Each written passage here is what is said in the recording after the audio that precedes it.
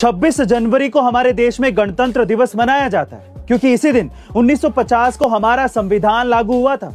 पर आपको ये जानकर हैरानी होगी कि हमारे संविधान को दो महीने पहले ही नवंबर उन्नीस सौ उनचास में लिखा जा चुका था। लेकिन अब सवाल ये उठता है कि इसे फिर दो महीने बाद क्यों लागू किया गया? दरअसल इसके पीछे एक खास वजह है, और वो है 26 जनवरी की तारीख।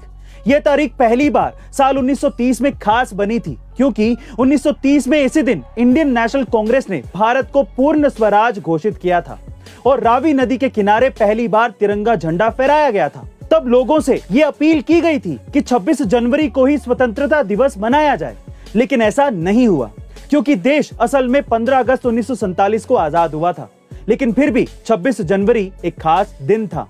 इसलिए जब संविधान बनकर तैयार हुआ तो इसे लागू करने के लिए 26 जनवरी को ही चुना गया। गाइज़ आज ही वो तारीख है। तो ए टू फैमिली की तरफ़ से आप सभी को हैप्पी रिपब्लिक डे जय हिंद, जय भारत।